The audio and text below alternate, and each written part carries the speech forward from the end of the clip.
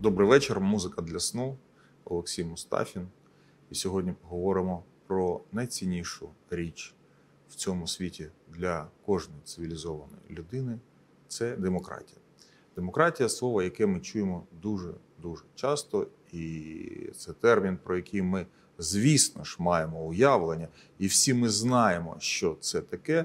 е, Але толком пояснити не можемо. Е, Не можемо пояснити, звідки це взялось, не можемо пояснити, куди це поділось, і звідки взялось знову. Не можемо пояснити, що з цим буде далі. Тому хотів з вами сьогодні поговорити про те, що таке демократія, звідки вона взялась, куди вона поділась, де вона весь цей час перебувала, і чому саме зараз демократія одна з найбільших цінностей.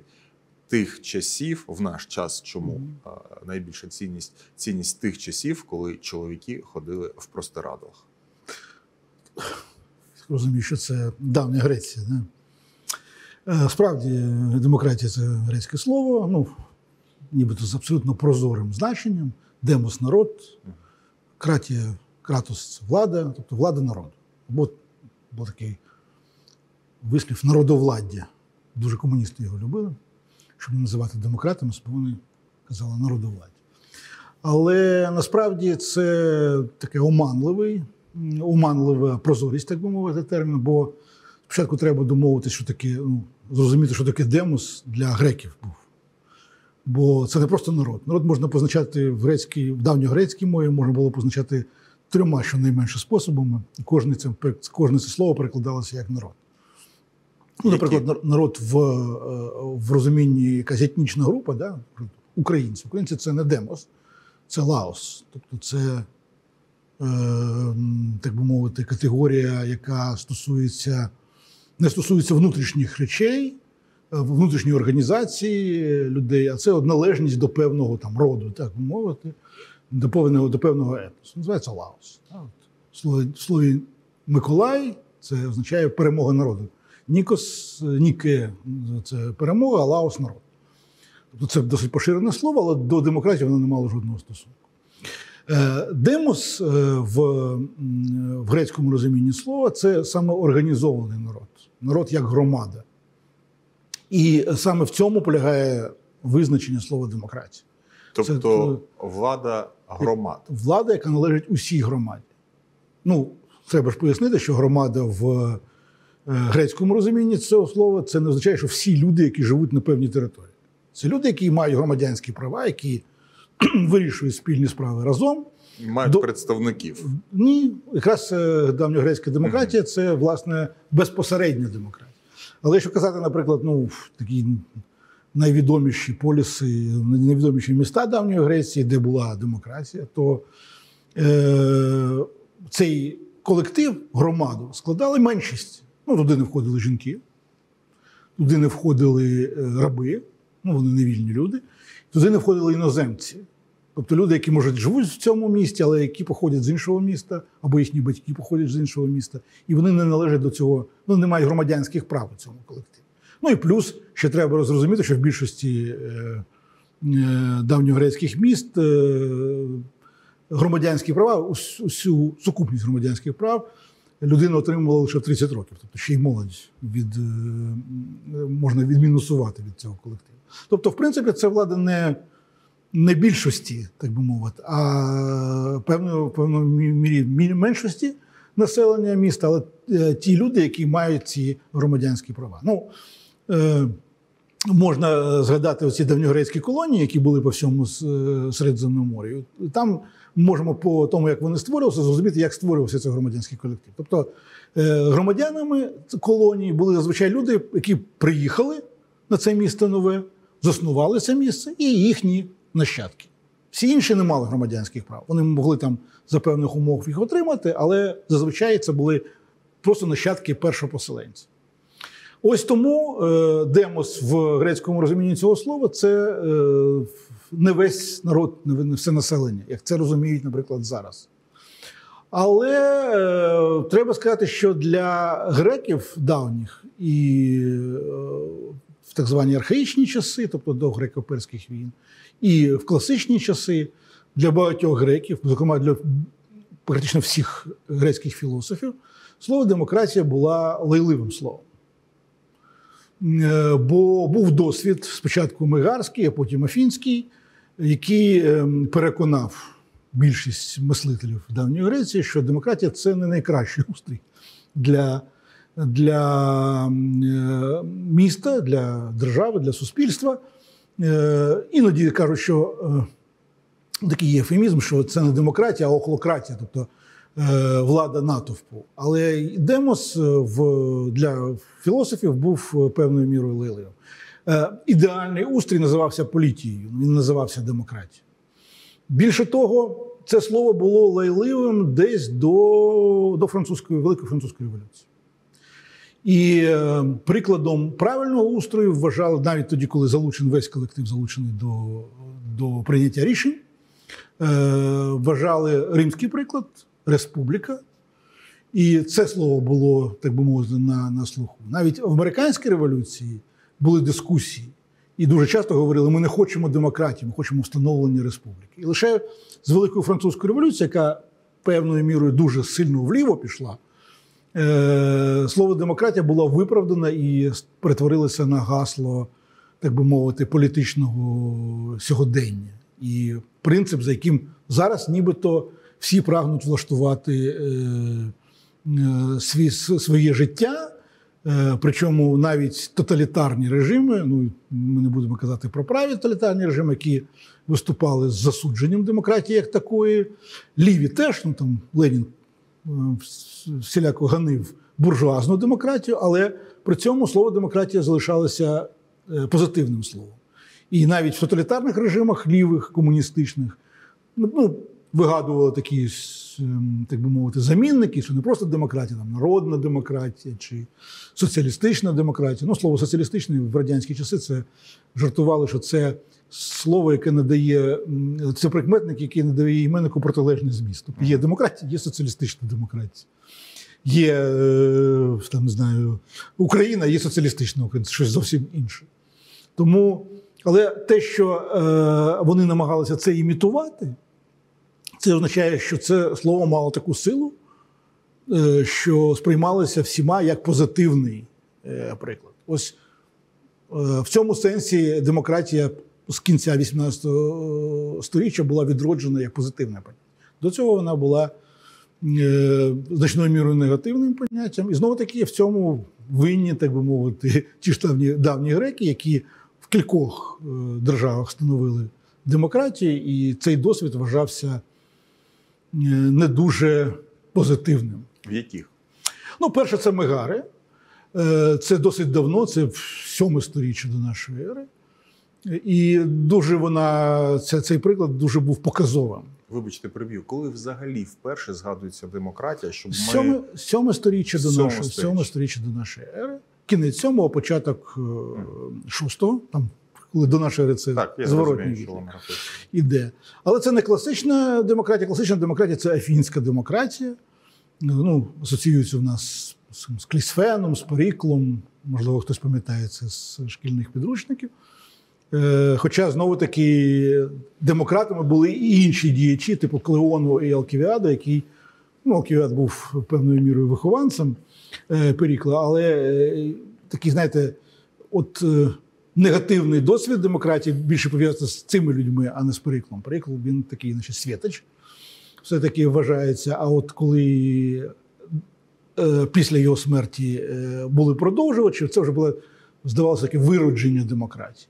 І вважається кінцем давньогрецької демократії це кінець вільних міст держав, коли всі вони були об'єднані під владою македонського царя Філіпа II, коли після чого про демократію забули на довгі, на довгі роки, сторіччя навіть. І звідки вона знову взялась? Навіщо про неї згадали? Е, дивіться, е, власне, е, Чому цей да. термін живе так довго? І не лише Е, термін, ну, але тому й система. Дивіться, е, е, нам властиво будь-якій людині, історикам особливо, але навіть не історикам. е, Властиво е, осмислювати свою діяльність е, на, е, через приклади, які існували в минулому. І е, класична давнина, давня Греція, давній Рим, вони вважалися завжди взірцем. Це було ще й серед середньовіччя, просто інші е, приклади брали з, е, з давнини. Але для е, 18 століття, коли з'явилося просвітництво, це був такий взагалі світло у віконці. З, е, Велика французька революція, вони всі перевдягалися, так би мовити, в ці шати давніх греків, в простирадла. е, е, Тобто, як нацистська Німеччина перевдягалась в В- римських в- е, імператорів. Ну, це не фашистів, вони е, ті перевдягалися з- з давніх германців середньовічне сторіччя. Так. Але от е, французька революція вона передягалася. Жіноча мода взагалі була дуже, дуже е, калькувала, так би мовити, давню моду. Хоча клімат Франції для нас може і здається м'яким, але в порівнянні з Грецією це зовсім інший клімат. І дівчата застуджувалися і хворіли, тому що вони хотіли бути схожими на давніх греків в, в умовах кліматичних Франції. Але так би мовити, це швидше радше анекдот. Але в принципі вони хотіли бути схожими і на Римську республіку, і на давньогрецьку демократію. Ну і враховуючи, що знову таки кажу, що в за часів французької революції все пішло досить вліво, так би мовити, стриманість не була у моді, особливо там при якобінцях, то е, те, що для навіть американських революціонерів було словом лайливим, що треба республіка, а не демократія, то для е, французів, е, революціонерів, це стало ідеалом. І відповідно, оскільки вони, так би мовити, себе малювали за прикладом давньої Греції, а потім всі революції в Європі і поза Європою брали за приклад вже французьку революцію, то очевидно вони поз- запозичили і цей сленг, так би мовити, і жаргон цієї, цієї революції. Тому слово демократія стало, стало так би мовити, прийнятним і, і ідеальним. Навіть е, в, в тих же Сполучених Штатах ми бачимо двопартійну систему, там республіканці і демократи. Тобто, ось ці самі принципи республіка або демократія, вони знову таки запозичені і стали, стали елементом цього. Але знову таки треба розуміти, що давня демократія і сучасна демократія це зовсім різні, різні системи. Ми вже казали про те, що це демократія не більшості, а демократія меншості. І другий момент це безпосередня демократія, ми теж про це казали. Тобто вважалося, що оскільки всі рішення мають бути ухвалені спільно народом, тобто цим колективом громадян, то очевидно, що не мож, не можна було е, інакше прийняти рішення чи, е, скажімо так, скасувати, аніж голосуванням усіх. Е, Представницька демократія, чи взагалі ідея представництва, вона суперечила ідеї грецької демократії. Всі мають брати участь. Ти можеш, звичайно, не брати участь у голосуванні. Ну, не всіх е, був час Ї- їхати на, на центральну площу, брати участь в цих розмовах, потім голосувати.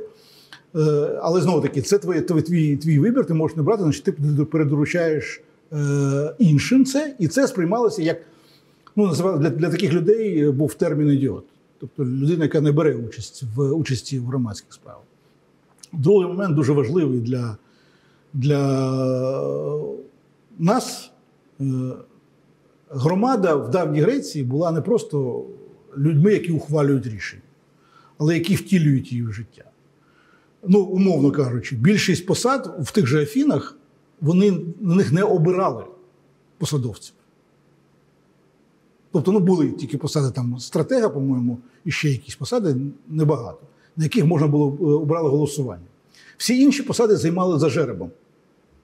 То всі громадяни тягнуть, витягують. Сьогодні ти суддя, а завтра ти, не знаю, там е, контролер е, е, вагів на ринку, так би мовити. А післязавтра ти відповідаєш за щось інше. Це та суспільна робота, яка розподілялася знову таки, всі, всі рівні, всі мають, вважаються однаково підготовленими до керівництва, то це не вважалося чимось дивним.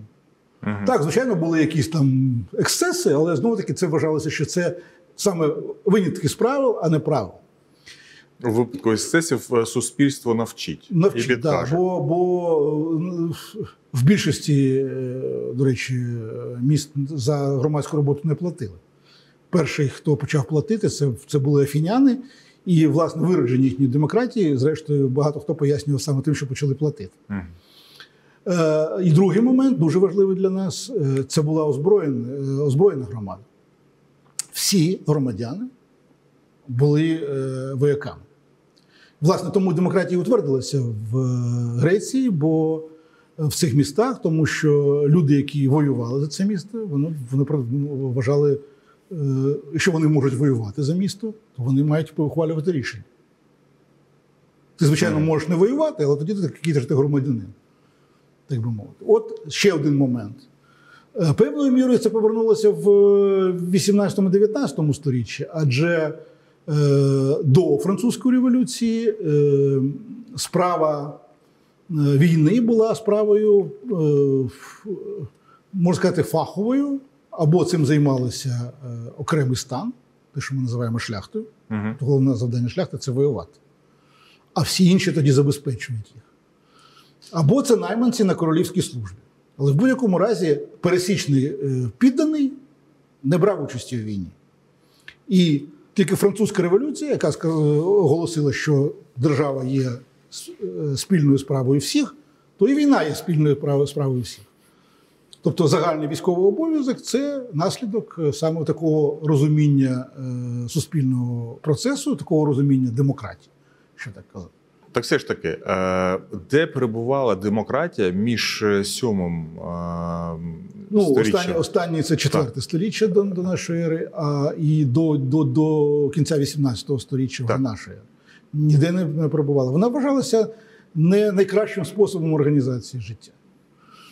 Знову таки, е, на, на місце демократії. Але ж її кудись вписували, ну, її хтось вона, е, е, е, пробував, її хтось Е, Справа в тому, що як знову таки давньогрецькі вчені, філософи, це не не вчені в нашому розумінні, мудреці, так Мгм. вони звичайно описували і Платон у державі, яка власне називається не держава, це перекладають як, як держава. Це саме от А називається як? Е, в- е, поліс, тобто громади. Да?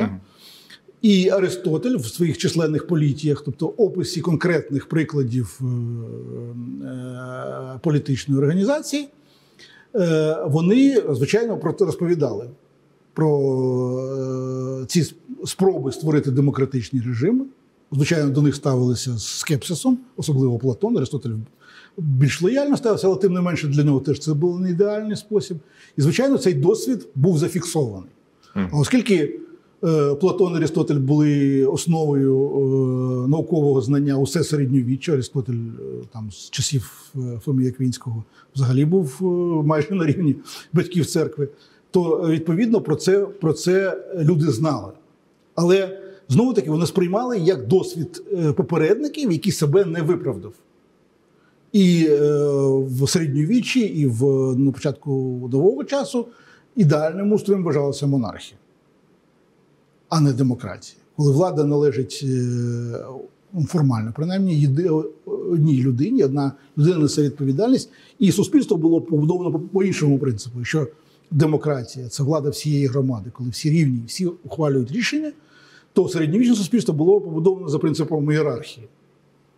Хто вищий, той ухвалює рішення. Нижчі люди не ухвалюють рішення, але вони не беруть на себе тих зобов'язань, які мали, наприклад, ті ж давньогрецькі громадяни. От е, і тільки після того, як цей старий режим, як він називається, режим, е, впав під тиском революції, е, ну, в найбільше це, звичайно, французька революція, повернулися до, ну, звичайно, спираючись на ті знання, які були тоді, спираючись на Платона і Аристотеля, сказали, що а насправді це правильний був режим. От так би я сказав. Що було до демократії? До демократії була, ну, якщо казати про устрій, е, то була е, У тих самих греків. в теж греків була спочатку монархія, а потім аристократія, тобто е, влада кращих. Ну, те, що в нас е, потім в середньовіччі, в нас я маю на увазі усіх європейців і українців, зокрема, е, принцип, коли є е, е, верства е, людей шляхетного походження, тобто який має свій родовід, яка, е, якою е, покликанням якої є участь у війні, тобто це професійні вояки, і саме ці люди можуть ухвалювати рішення, якщо в цьому є потреба, якщо монарх хоче з ними порадитись. Е, Класичний приклад такої е, монархії у співпраці з, з шляхтою це приклад Речі Посполитої, ну це Польща, Литва, Україна, Білорусь нинішня головним чином. Е, Коли е, власне слово річ, е, річ Посполита це ж просто польський переклад слова республіка, Угу. тобто спільна справа. Коли е, і, е, до речі, в назві е, Речі Посполитої було сказано, що це Річ Посполита обох народів, мається на увазі е, польської корони і Великого князівства Литовського. І слово народ знову таки це не означало все, все населення цих е, держав. А під народом розумілося шляхта. Оце народ був. А те, що поза шляхтою, це не народ, тому це піддень. А хто ці піддані? і Яка влада є у них? Ніякої влади немає. Вони мають підпорядковуватися в розумінні середньовічному, вони мають підпорядковуватися своїм панам і е, бути, е, виконувати ту функцію, яка на них покладена, е, годувати, так би мовити, панство, яке їх захищає, і, і духовенство, яке за них молиться. Що відрізняє сьогоднішнього громадянина ну будь-якої держави, в принципі, термін громадянин від терміну громадянин в уявленні греків? Ем, По-перше, у греків не було держави в нашому розумінні цього слова. Це була сукупність е, громад самоврядних, про те, про яких казав. Е, Якщо казати так про територіальну державу в нашому розумінні цього слова, от як Україна, да, такої в Греції не було. Греція була об'єднана, як я вже казав, македонським е, царем, і тоді це вже була інша держава. Демократія в межах великої держави просто була неможлива. Це в Платона є, що люди мають впізнавати один одного. Тобто, якщо люди не може впізнати е, свого співгромадянина, то це за велика держава, вона не функціонує е, належним чином. Єдиним винятком була Римська Республіка, яка виросла з е, такого роду громади. Просто громадян стало дуже багато. Але е, в Римській Республіці був інший принцип голосування. Якщо в більшості грецьких міст це було ну, голосування в нашому розумінні цього слова, вони кидали камінці білі чи чорні, і відповідно рішення ухвалювалося за, цим, за цією кількістю. Е, до речі, називалося це рішення догма. Саме тому, що їх не можна було поміняти інакше, ніж новим голосуванням. То в Римі голосування було двоступеневим. Спочатку голосували люди по своїх об'єднаннях або по військових. Це, до речі, теж підкреслюю, що це була військова громада, або по, по е, народних, так мовити, бо там складалося з кількох народів. А потім підраховувалися голоси оцих, е, цих об'єднань. Саме тому всередині об'єднань можна було бути дуже багато громадян. Все одно голосування було, ну, от як, знаєте, як е, колегія виборників в Сполучених Штатах обирає президента. Там же не пряме голосування. А спочатку в Штатах голосують, а потім представники, визначена кількість, вона голосує за, за конкретного президента. І ну, з одного боку, це е, нібито завжди повторюється, якщо люди проголосували. Там більшість, то всі ці виборники, вин- винятком деяких штатів, голосують за того кандидата, за якого проголосували люди. Але все одно є такий як, ніби фільтр. І це певною мірою є спадщина, спадщина давнього Риму. От і головним чином, е, але знову таки, такий спосіб е, урядування, спосіб е, ухвалення рішень, коли ухвалюється безпосередньо самим народом, означає, що відповідальність за це несе сам народ. В сучасній демократії, яка є представницькою, у нас зазвичай, зазвичай у нас, я знову таки кажу, не тільки в Україні, а й там в Європі і е, Америці, е, люди передають, передоручають е, керівництво держави особливим людям. Потім вони їх, звичайно, лають і ганять і кажуть, що вони ні на чого, ні на чого не здатні, їх треба всіх там не знаю, розстріляти чи щось з ними зробити. Але е, при цьому забувають, що це люди за цих людей голосували, так би мовити, за цих представників. І це з одного боку полегшує, тому що не треба кожного разу проводити референдум. Але з іншого боку, це е, певною мірою є відчуття відчудженості людей від ухвалення рішень. Тобто рішення все одно приймають за них, а не вони. Мені здалось на початку нашої розмови, що я зрозумів різницю між республікою і демократією. Принаймні, мені здалось, що вона є. Зараз я в цьому не впевнений. Так Е, чим відрізняється республіка, Республіка від, від, е, демократії, від і дем- чи можуть вони демократії, існувати тим, що е, е, існують, так би мовити, оцей дуже часто повторюють, люблять, коли я розповідаю про американську демократію, стримування і противаги. Тобто в республіці це є збалансована, структура, там є з одного боку ухвалення рішення всім народом, з іншого боку, є фільтри для ухвалення рішень, є сенат, який може е, опротестувати це, і є е, виборні особи, які теж збала- балансують. Тобто це структура збалансована. Тобто е, в, в давньогрецьких містах демократичних можна було ухвалити будь-яку дурницю. І це робили дос- досить часто. І е, іншого способу, як її скасувати, як знову таки зібрати людей на площі і проголосувати за протилежне рішення, не було. В Римі була більш збалансована система, і оце те, що той же Аристотель, ну в Римі теж читали Аристотель, е, казав, коли казав, що ідеальним варіантом є політія, коли є е, устрій, який поєднує в собі і принципи демократії, і в той, в той же час е, і, і щось бере від аристократії, навіть від монархії. Тобто намагається поєднати позитивні риси і згладити риси негативні усіх е, політичних устроїв, які є. В цьому є різниця між е, республікою і демократією. Чому слово демократія було лайливим? Тому що республіка це ідеальна форма, там, де є, е, є баланс інтересів, і дурниця не пройде, навіть якщо за неї проголосує більшість.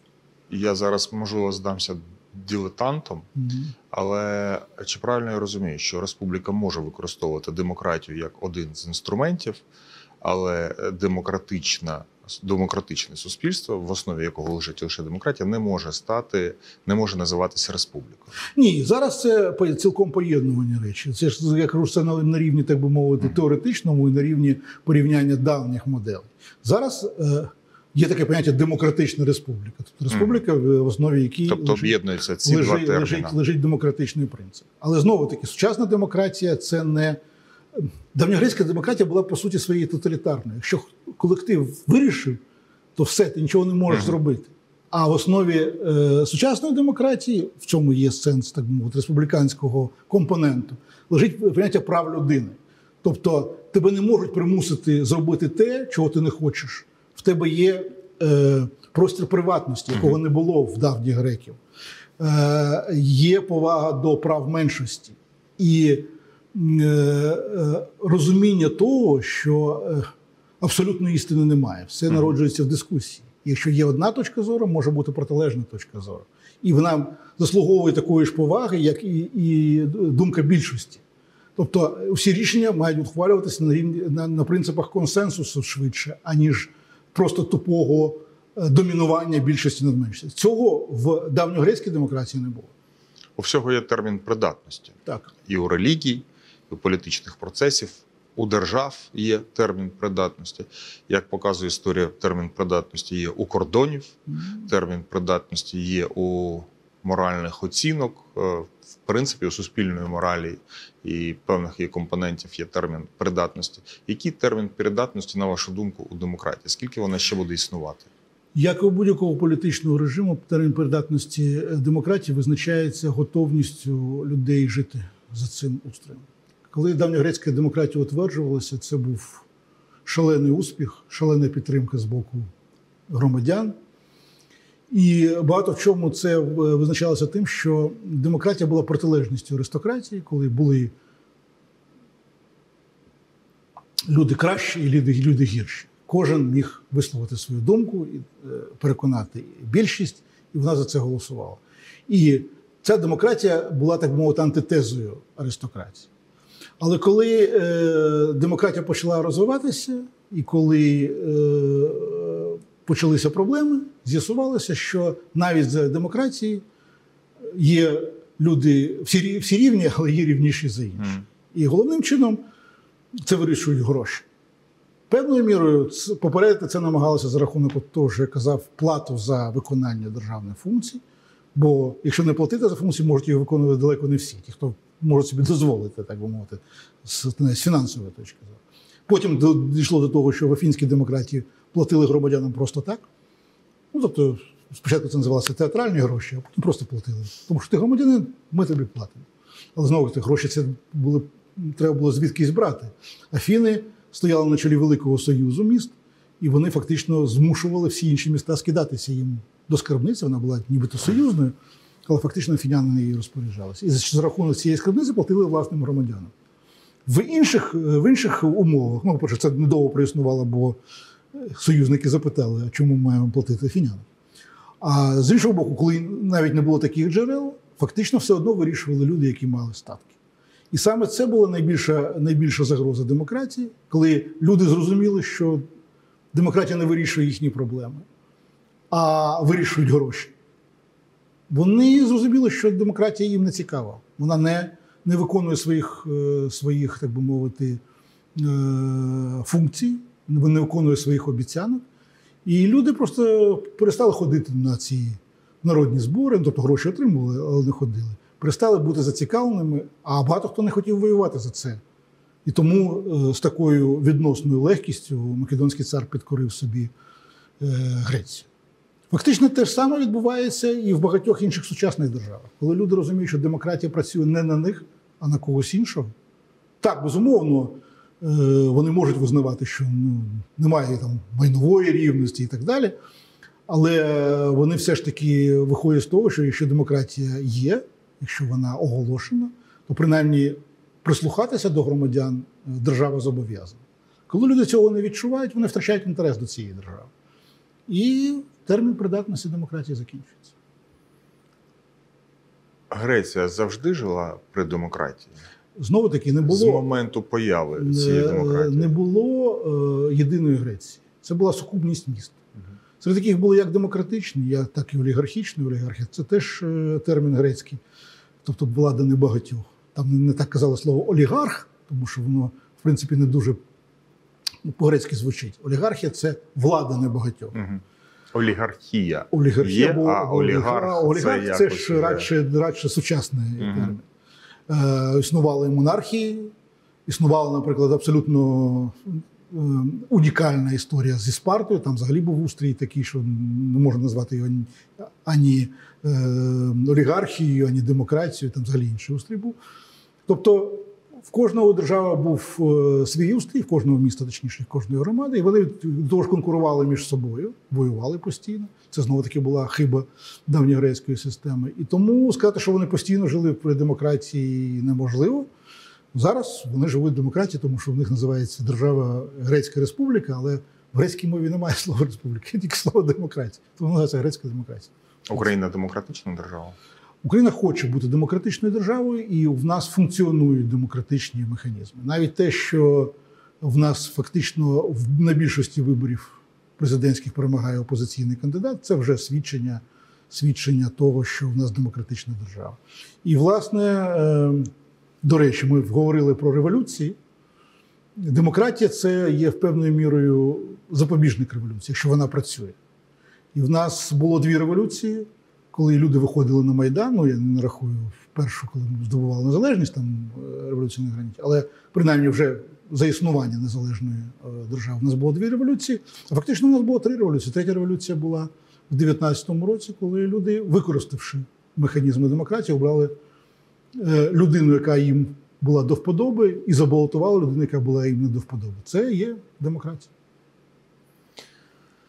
Олексій Мустафін сьогодні нам розповів, що таке демократія. Я сподіваюся, що ви дізнались про це набагато більше, ніж знали, і тепер будете зовсім по-іншому ставитись до цього терміну.